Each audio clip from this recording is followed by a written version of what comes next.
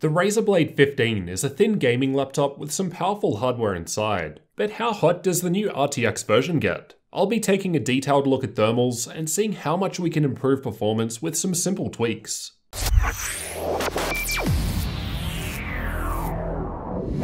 I've got the new advanced model of the Razer Blade 15 here. And in my configuration, there's an Intel i7-8750H CPU, 90W NVIDIA RTX 2080 Max-Q graphics, and 16GB of memory running in dual channel. It's also available with RTX 2060 or 2070 Max-Q graphics though, so expect different results with those, and you can find updated pricing linked in the description. On the bottom of the laptop, there doesn't appear to be many vents for airflow. They're just directly above the intake fans. Inside, the blade uses vapor chamber cooling, so a little different when compared with most other laptops. The Razer Synapse software allows you to choose between three different modes, balanced, gaming, and creator, and I've tested all three. Basically, gaming mode is suggested for applications that need GPU power, while creator mode is suggested for CPU intensive tasks. Thermal testing was completed in an ambient room temperature of 23 degrees Celsius, so expect different results in different environments. I've tested idle down the bottom with the balanced profile, and it was on the warmer side for an idle machine. The gaming results towards the upper half of the graph were tested by playing Watch Dogs 2, as I find it to use a good combination of processor and graphics. The stress test results shown on the bottom half of the graph are from running the AIDA64 CPU stress test and Heaven benchmark at the same time to fully load the system. Some of the titles might be a bit confusing, for example, this gaming gaming one means that the test was playing Watch Dogs 2 and the second instance refers to the gaming profile being used. Towards the bottom of the graph, with the stress test going and balanced profile in use, the fan was noticeably quieter compared to the gaming and creator profiles, which you'll hear soon. But this is why applying a minus 0.14 volt CPU undervolt shown by UV on the graph doesn't affect the CPU temperature here. The GPU was however thermal throttling only in balanced mode, anytime it was at 76 degrees. With the gaming or creator profiles in use, the CPU temperature either stays the same or gets worse, while the GPU temperature was always fine with these profiles. However, we'll see in the next graph how performance is affected. We can see that when the Thermaltake Massive 20 cooling pad is used, the temperatures of both the CPU and GPU drop by 6 degrees Celsius, whether gaming or under stress test. These are the average clock speeds for the same tests just shown, down the bottom, we can see there was a 500 MHz all-core increase with the balanced profile once applying the minus 0.14 volt undervolt to the CPU. This doesn't really change if we max out the fan, as thermals are not the limitation. I'll also note that I didn't test default and max fan speeds with gaming or creator profiles, as the fan was already pretty well maxed out under these workloads. That was not the case with balanced, which is why I tested it there we can see that at stock, the creator profile is giving us higher CPU clock speeds when compared with the gaming profile at stock, as expected. While the GPU clock speeds from the gaming profile are higher than creator mode, again as expected based on what these modes do. Once we apply the CPU undervolt though, the CPU clock speeds become about equal. However, the GPU clock speed was still higher from gaming mode. I did test out some GPU undervolting, but didn't get anywhere there. Basically for gaming, it seems like using the gaming profile with a CPU undervolt gives you the best performance, while a cooling pad helped slightly. I suspect this is due to GPU boost preferring cooler temperatures, as again, there was no thermal throttling in gaming or creator modes. Power limit throttling was what was holding these speeds back from going further. I wasn't able to boost the power limit manually in combined workloads like these either. However, based on the temperatures, going further would make the thermals worse and while thermal throttling wasn't happening in gaming or creator modes, we're not too far off. These are the clock speeds I got while just running CPU only stress tests without any GPU load. And despite this not being a combined CPU and GPU load like before, the clock speeds aren't really that different. The CPU only workload gave us basically the same results with either creator or gaming mode. Although even undervolted, neither were capable of hitting the full 3.9 GHz all-core turbo speed of the i7-8750H CPU.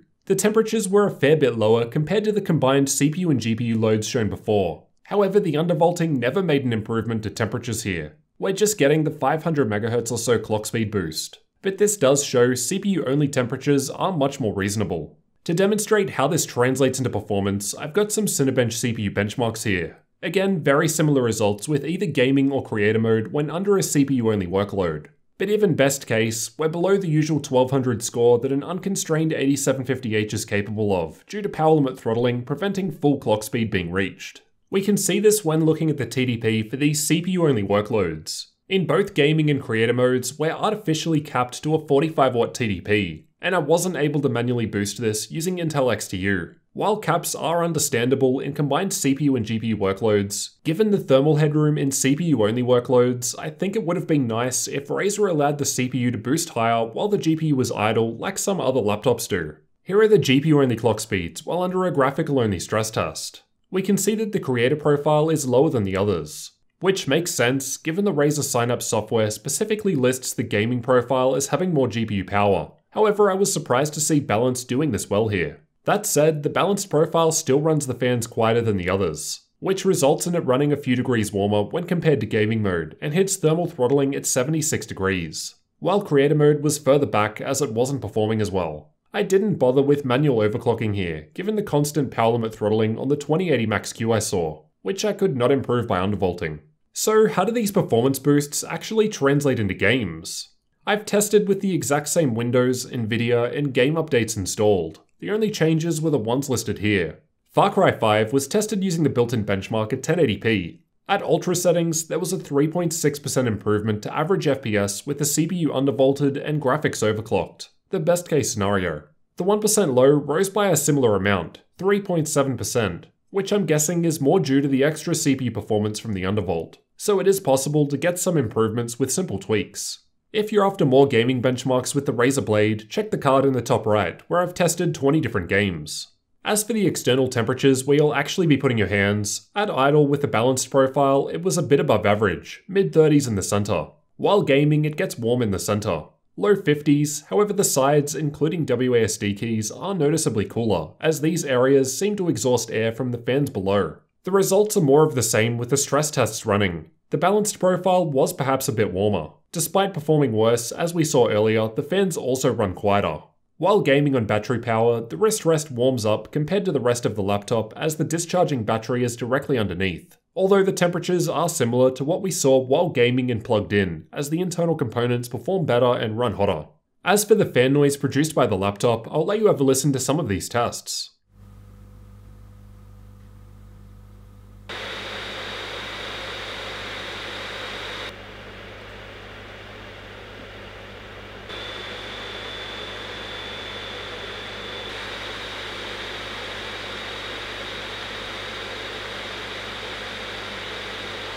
At idle, it was basically silent. I couldn't hear the fan. While gaming in gaming mode, it was about average compared to many other laptops I've tested. And then same results with the stress tests running in gaming mode. And these were the same as manually maxing out the fans. Balanced mode was quieter, as mentioned earlier, but performs worse as a result. But you've got the choice of sacrificing performance to run quieter. Creator mode was a little quieter than gaming mode in this test, but I found it to vary, rising up to match gaming mode at times.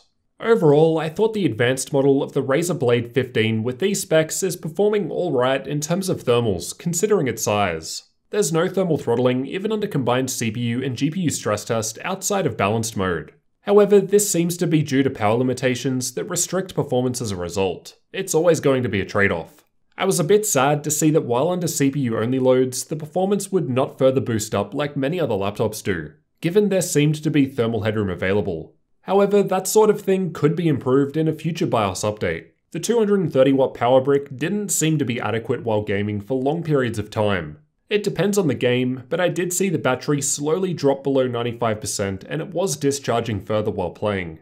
Although this didn't seem to lower performance. These differences in performance shown aren't hard and fast rules. There are different factors which will vary results primarily the temperature of the room you're running in, application of thermal paste, and even the specific hardware, which comes down to the silicon lottery.